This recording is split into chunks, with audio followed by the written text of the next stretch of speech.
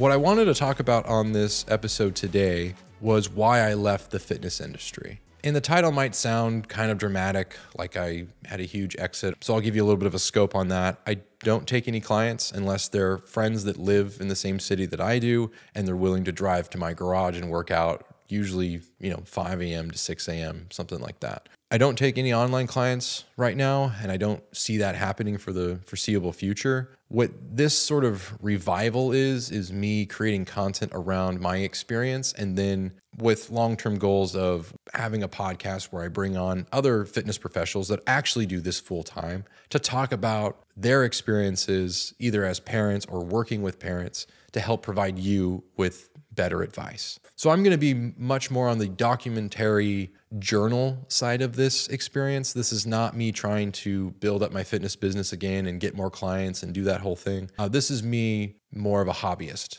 creating content for those that need it, sharing my experience and my knowledge, and then sharing the experience and knowledge of other professional trainers who do run a full time business, who do see this every single day. My knowledge stopped in 2020. So if things have evolved since then, I haven't really kept up with the current science. I mean, I plan to at least talk to people who know what's going on, but I, I don't tend to pioneer my own fitness business as a result of creating content. So, as everyone knows, in 2020, things changed for lots of people. One of the industries that was hit the hardest outside of probably like restaurants and food industries and you know things like that was the fitness industry. For the first, I think, seven to eight months, even longer, gyms were on and off closed down or shut down.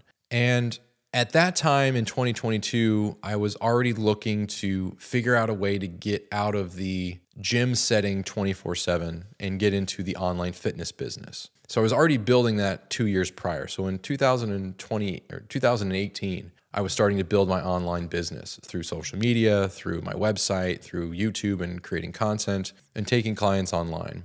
By 2022, I had a couple of clients online, but it certainly wasn't at a point where I could sustain myself with that business. So when gym shut down was actually the greatest time in my fitness, uh, professional fitness career that I ever had because I was actually getting paid by the government to stay at home because I couldn't go to work and then work on my business to try to catapult that into the future and, and make that my sustainable income. So all of 2020 was me trying to build up my fitness business enough to sustain my income or match the income that I was making in the gym, but online. So I joined a, a fitness mentorship as a result of that. One of the most amazing groups of people and well organized programs I've ever done. And um, that was very, very helpful and very, very fruitful. And I learned probably more than I've ever learned from any sort of venture on my own. And as a result, I started to build my business up a little bit more. By the time we get to November of 2020,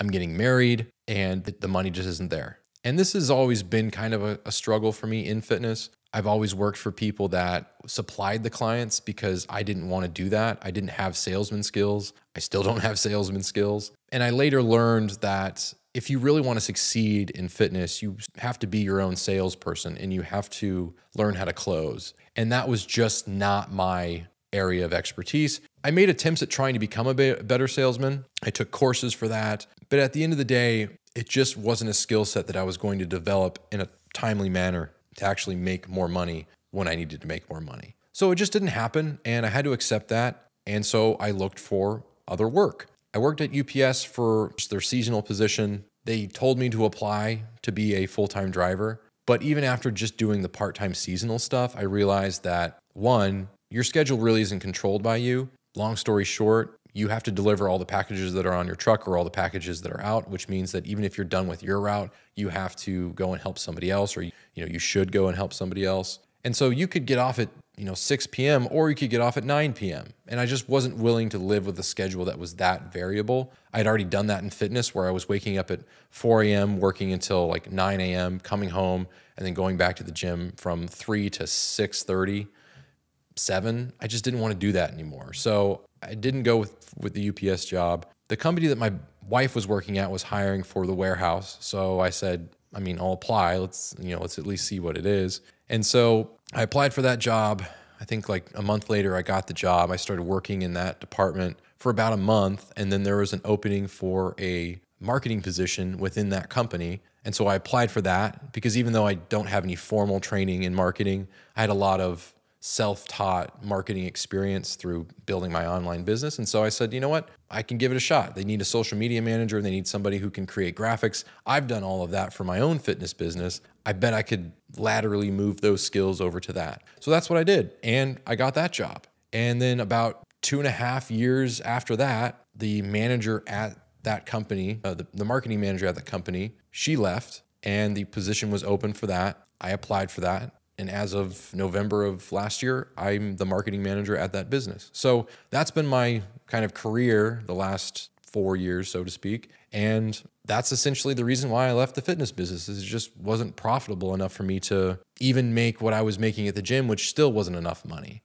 And I was kind of panicking to a certain extent because I really loved fitness, but I also really loved sustainability and a reliable paycheck that wasn't different every single time. And so I've learned that while I have an entrepreneurial spirit, I don't necessarily have the guts or the, I don't know what the right word is. I just don't have all the pieces it takes to be an entrepreneur. But I am a self starter and I love to do things on my own and, and venture off into things. But I'm certainly not business minded. I'm more philanthropic, maybe. Like I had a hard enough time selling fitness packages to people because I was like, I learned all this information for free for the most part. Why can't they just have it for free? Terrible business mindset, but that's the way I thought of things. And so that's been sort of my life the last four years. That's why I got out of fitness. I still love fitness. I still love talking about it. Obviously, that's why I'm doing this podcast again. I'm starting up my Instagram account again, my YouTube account again. I just want to be able to utilize that 15 to almost 20 years worth of experience for others that might need it, that might need somebody who's, you know, been in the trenches that long to give them perspective. And I'm very much not your the clinical professional when it comes to this. Like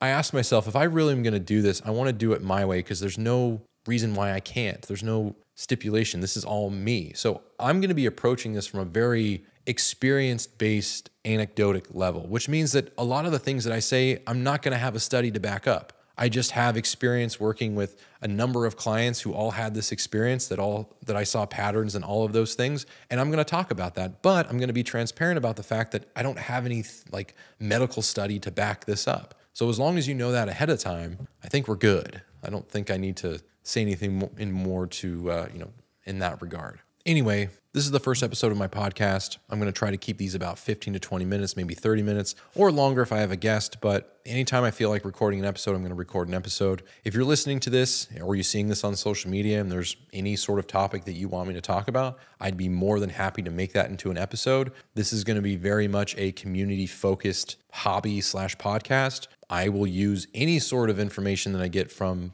my audience or topics that they want to talk about um, but until then, I will come up with some topics that I have seen, you know, people ask about on the internet or have seen online, social media, whatever it might be, and I'll use those as kind of my guide for now. So anyway, thanks a ton for listening. I appreciate you listening. Um, I'll see you in the next episode.